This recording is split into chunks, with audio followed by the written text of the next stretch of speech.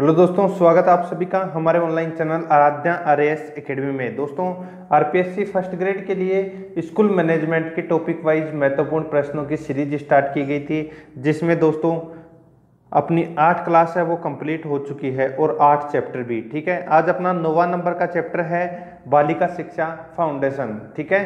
तो दोस्तों, अगर आपने अगर पिछली अगर क्लासें नहीं देखी हैं तो आप प्ले लिस्ट में जाइए, वहाँ पे आपको फोल्डर मिलेगा फ़र्स्ट ग्रेड स्कूल मैनेजमेंट के नाम से आपको वहाँ पे फोल्डर मिल जाएगा। तो आप वहाँ जाके सारी की सारी क्लास हैं, वो देख सकते हैं। और अगर आपने अभी तक आराध्य आर एस अकेडमी के यूट्यूब चैनल को सब्सक्राइब नहीं किया तो इस चैनल को सब्सक्राइब ज़रूर कर दें बेल आइकन को दबाएँ वीडियो को लाइक और शेयर ज़रूर करें। तो चलो दोस्तों स्टार्ट करते हैं आज की क्लास बालिका शिक्षा फाउंडेशन की सांसी परिषद के अध्यक्ष कौन होता है? बालिका शिक्षा फाउंडेशन की शासी परिषद के अध्यक्ष कौन होता है? दोस्तों, चार ऑप्शन आपके सामने हैं। जल्दी से दोस्तों, इसका उत्तर सोच लो, क्या होगा? तो दोस्तों, इसका राइट आंसर हो जाएगा, वो है मुख्यमंत्री। ए नंबर का ऑप्शन इसमें राइट आंसर हो जाएगा। नेक्स्ट क्वेश्चन है।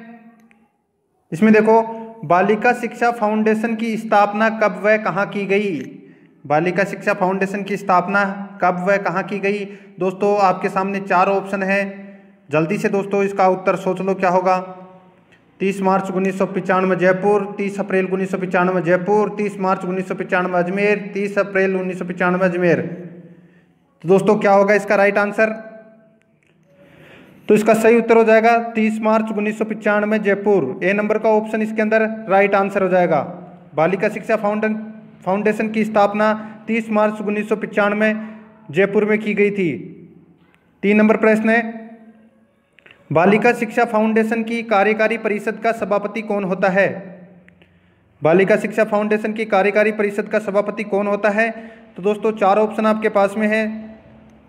जल्दी से इसका उत्तर सोच लो। तो दोस्तों, कार्यकारी परिषद का जो सभापति है, वो मुख्य सचिव होता है। डी नंबर का ऑप्शन इसमें राइट आंसर हो जाएगा। नेक्स्ट क्वेश्चन है, चार नंबर प्रश्न है। इसमें देखो बालिका शिक्षा फाउंडेशन की योजना नहीं है।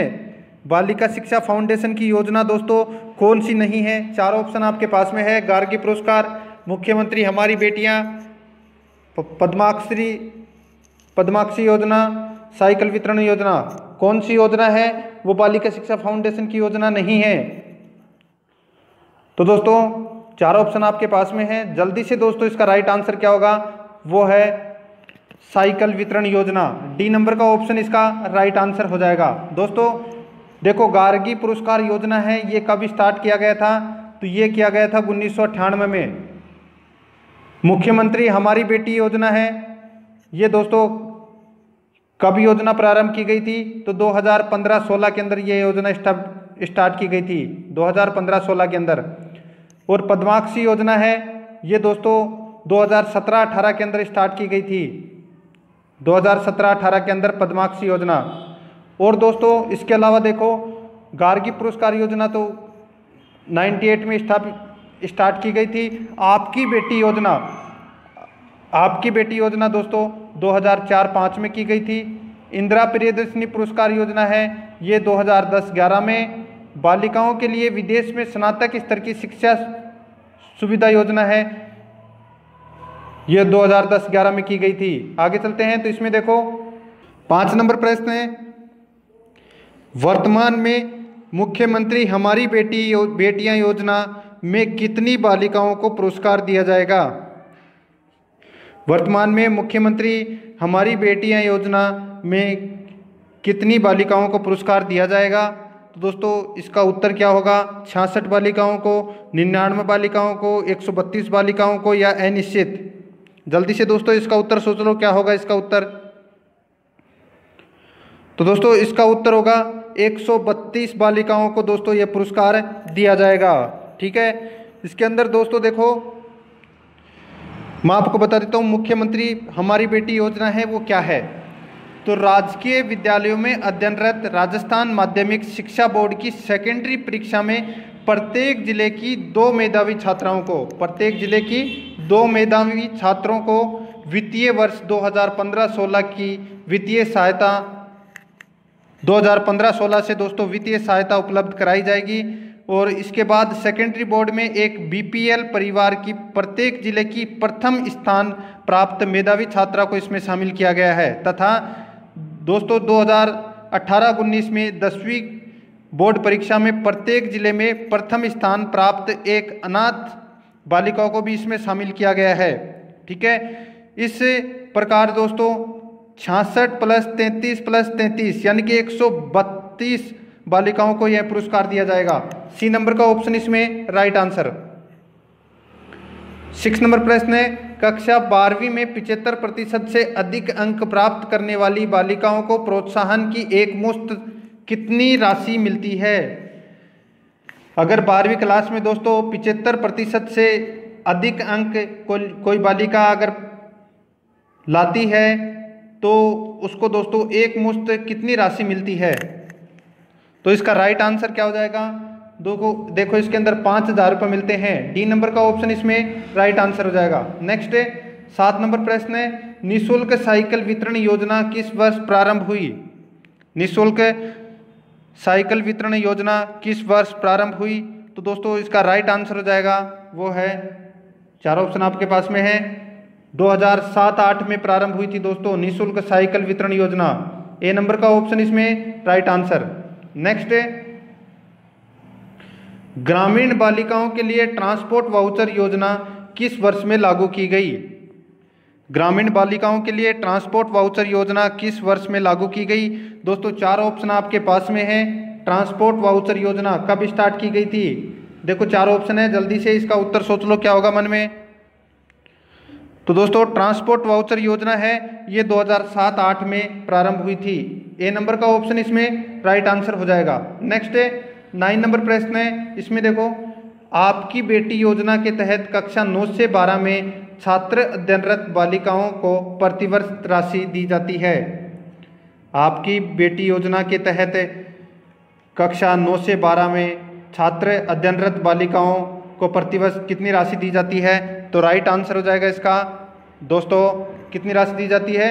पंद्रह सौ रुपये डी नंबर का ऑप्शन इसमें राइट आंसर हो जाएगा। नेक्स्ट आगे चलते हैं दस नंबर प्रश्न। इसमें देखो, गार्गी पुरस्कार योजना में कितनी राशि दी जाती है? तो दोस्तों, गार्गी पुरस्कार योजना के अंतर्गत कितनी राशि दी जाती है? ये आपको बताना है। दो हज़ार, तीन हज़ार छः हज़ार, चार हज़ार। तो दोस्तों, इसका राइट आंसर हो जाएगा। गार्गी पुरस्कार योजना में छः हज़ार की राशि दी जाती है इसके अंदर। डी नंबर का ऑप्शन इसमें राइट आंसर ग्यारह नंबर प्रश्न है। पद्माक्षी पुरस्कार योजना को प्रारंभ किस योजना को बंद करके किया गया? पद्माक्षी, पुरस्कार योजना को प्रारंभ किस योजना को बंद करके किया गया? तो दोस्तों, इसका राइट आंसर हो जाएगा। देखो, चार ऑप्शन आपके पास में है। तो इसका सही उत्तर हो जाएगा, वो है इंदिरा प्रियदर्शनी योजना को बदलकर, दोस्तों, पद्माक्षी पुरुष योजना कर दिया गया था, ठीक है? देखो, इंदिरा प्रियदर्शनी पुरस्कार योजना का नाम परिवर्तन कर पद्माक्षी पुरुष योजना कर दिया। प्रारंभ वर्ष 2017-18 ठीक है? प्रारंभ कब हुई थी ये? पद्माक्षी पुरस्कार योजना 2017-18 के अंदर। ठीक है? 2017-18 में। अब इसके लिए पात्रता क्या है? तो पात्रता देखो, कक्षा आठ, दस और बारह। बोर्ड कक्षाओं में जिला स्तर पर प्रथम आने वाली बालिकाओं को यह पुरस्कार दिया जाता है। समान अंक आने पर एक से अधिक बालिकाओं को भी यह पुरस्कार दिया जाता है। न्यूनतम 60 प्रतिशत अंक अनिवार्य है। देश सुविधा क्या है? तो इसमें देखो, कक्षा आठ की बालिकाओं को चालीस हज़ार रुपये कक्षा दस की बालिकाओं को पिचहत्तर हज़ार रुपये और कक्षा बारहवीं की बालिकाओं को लिए, को दोस्तों एक लाख रुपए प्लस स्कूटी। ठीक है? ये तीनों सकायों के लिए है। कला सकाय, विज्ञान और वाणिज्य तीनों के लिए दोस्तों ये योजना है। डी नंबर का ऑप्शन इसमें राइट आंसर हो जाएगा। आगे चलते हैं, बारह नंबर प्रश्न। इसमें देखो आर ई आई का पूरा नाम क्या है? तो दोस्तों आर ई आई का जो पूरा नाम है, वो है राजस्थान एजुकेशन इंस्टीट्यूट। याद रखना, राजस्थान एजुकेशन इंस्टीट्यूट, ये दोस्तों इसका पूरा नाम है।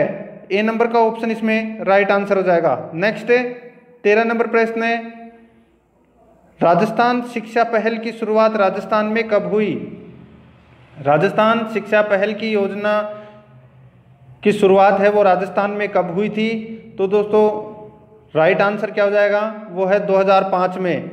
बी नंबर का ऑप्शन इसमें राइट आंसर चौदह नंबर प्रश्न है। राजस्थान में राजस्थान शिक्षा पहल की नोडल एजेंसी किसे बनाया गया? राजस्थान में राजस्थान शिक्षा पहल की नोडल एजेंसी है, वो दोस्तों किसे बनाया गया है? तो इसका राइट आंसर क्या हो जाएगा? वो है दोस्तों इसके अंदर राजस्थान प्रारंभिक शिक्षा परिषद। ए नंबर का ऑप्शन इसमें राइट आंसर हो जाएगा। नेक्स्ट क्वेश्चन है, पंद्रह नंबर प्रश्न राजस्थान शिक्षा पहल के मुख्य सहयोगी नहीं है। राजस्थान शिक्षा पहल के मुख्य सहयोगी नहीं है तो दोस्तों, कौन नहीं है इसके मुख्य सहयोगी? चार ऑप्शन आपके पास में है। जल्दी से दोस्तों, इसका उत्तर सोच लो, क्या होगा? तो दोस्तों, इसका राइट आंसर हो जाएगा एफ़ ई डबल जी ये दोस्तों, इसकी मुख्य सहयोगी नहीं है। दोस्तों, आपको कमेंट में ये बताना है कि एफ़ ई डबल जी का फुल फॉर्म क्या है? ठीक है? कमेंट में बताना है ये। नेक्स्ट है, सोलह नंबर प्रश्न है, राजस्थान शिक्षा पहल का मुख्य उद्देश्य नहीं है। राजस्थान शिक्षा पहल का दोस्तों, मुख्य उद्देश्य कौन सा नहीं है? वो अपने को इसमें बताना है। दोस्तों, देखो मैं राजस्थान शिक्षा पहल, यानी कि आर ई आई के जो उद्देश्य क्या क्या है, वो मैं आपको इसमें बता देता हूँ पहले। तो देखो, उद्देश्य हैं, विशेष आवश्यकता वाले बालक, बालिकाओं, हेतु, गुणात्मक व समावेशी शिक्षा के अवसर जुटाना। दूसरा है, शिक्षा से वंचित बालक बालिकाओं की शिक्षा की मुख्य धारा से जोड़ने हेतु प्रयास करना। तीसरा है, बालिकाओं के लिए प्रारंभिक स्कूली शिक्षा का सार्वजनिकीकरण। चौथा है विश्व स्तरीय प्रौद्योगिकी से शैक्षिक सबलीकरण। पांचवा है, कंप्यूटर साक्षरता। छठा है पब्लिक प्राइवेट सहभागिता का नया नवाचार।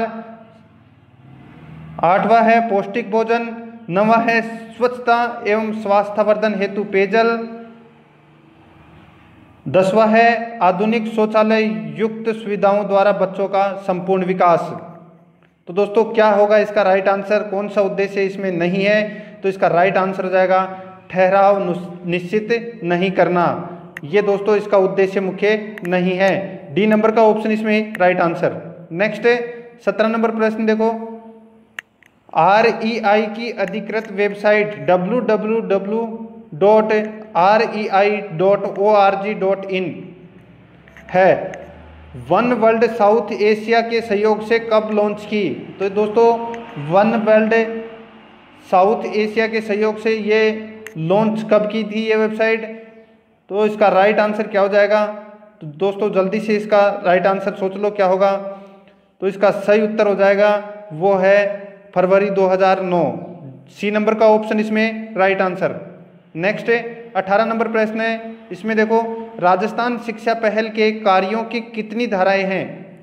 राजस्थान शिक्षा पहल के कार्यों की कितनी धाराएँ हैं? तो दोस्तों, एक, दो, तीन, चार, इनमें से कौन सा राइट आंसर हो जाएगा इसका? इसमें देखो, इसका राइट आंसर हो जाएगा, वो है दो। कितनी धाराएँ हैं? दो। देखो, राजस्थान में सर्व शिक्षा अभियान के लक्ष्यों की पूर्ति करना, अर्थात शिक्षण के बुनियादी ढांचे और प्रणाली में सुधार करना आर ई आई की दो कार्यधाराएँ हैं। कौन कौन सी है? तो इंफॉर्मेशन कम्युनिकेशन टेक्नोलॉजी, स्ट्रीम। ठीक है? और दूसरी है non information communication technology, stream. तो इसका राइट आंसर क्या हो जाएगा? बी नंबर का ऑप्शन। तो दोस्तों, ये हो गया आज का अपना जो नोवा नंबर का टॉपिक कंप्लीट। अगर आपने अभी भी आराध्या आर एस अकेडमी के चैनल को सब्सक्राइब नहीं किया है तो इस चैनल को ज़रूर सब्सक्राइब कर दें। पास में दिए गए बेल आइकन पर ज़रूर क्लिक करें। वीडियो को लाइक करें और ज़्यादा से ज़्यादा इसको शेयर करें। मिलते हैं दोस्तों नेक्स्ट वीडियो में। जय हिंद, जय भारत।